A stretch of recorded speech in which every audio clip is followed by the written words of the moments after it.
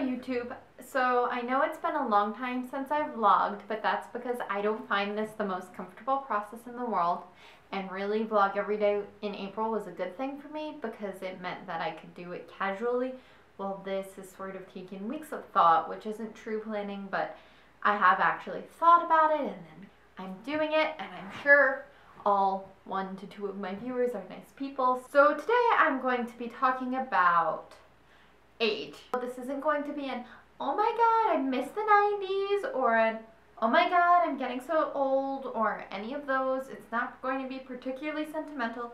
It's just I've done a lot in the past month and I needed to clump it somehow. So I went to France, and as we were touring these villages and we saw these houses that are just hundreds and hundreds of years old, like older than the United States of America. These villages were built into these rocks not for because of their ease of living, but because of their ease in not dying. Not good for trade, it's not good for any of those things we associate with life or the founding of civilization. The reason why they're built into the sides of these cliffs are the other villages would attack them.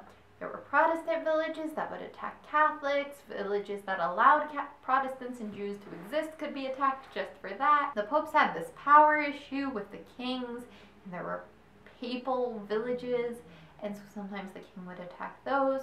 Traveling through one of these villages, it's very small, a car barely fits. I hear that there's no bakery, and that seems strange to me because it's a town without bread then, and it's France, and I really like bread. If you've learned one thing from these vlogs, it might be that. I was thinking about how we got from a time to when if a village didn't have bread, it was because of weather, or because another village attacked it, or there was a famine, or locusts, or people made their own bread, so if there wasn't a bakery, it wouldn't be that serious.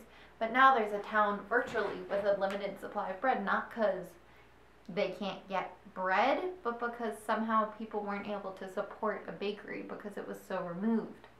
And the fact that that's now the biggest inconvenience is great, but also that's still a big staple of food.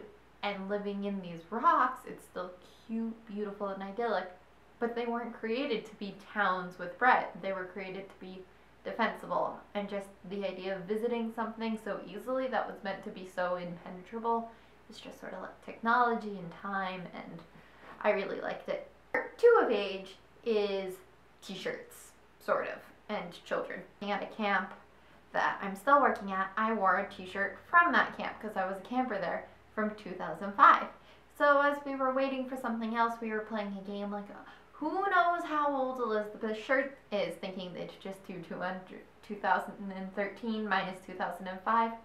And uh, the math was a little hard from them. They're five. It's okay. Mm, you learn subtraction in first grade, I guess. Then we were going, so, what year are you born? And everyone was like, 2007! And like to them, they're old. And to us, that's nothing. This shirt's from my mom. This shirt's older than me and it's like six times older than them, but they think they're really old. And then I was thinking about how they grow up with things that we think are still new and cool being just the way it is, like an iPod. Okay, so maybe this is a little bit of an I miss the 90s, but not really. But it's just like their coloring books might be different because things are different and they're just young and they're adorable. And I find myself using excuses all the time like, because I'm a grown up or because I'm over five feet tall, which aren't excuses. And I'm not a grown up. I'm legally adult, but I'm not a grown up. I refuse that one. Part three would be I'm home. This is my bedroom. And I have a tripod, which means these won't look as precarious.